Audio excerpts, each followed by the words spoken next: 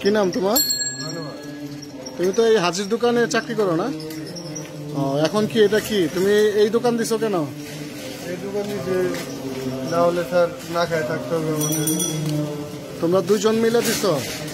একজনের নাম কি? একজনের নাম তোমরা এখানে এটা বিক্রি করতেছো? হোটেল বম্বে যাওয়াতে? তোমার ফ্যামিলি এখানে থাকে? বেচা কেনা আছে?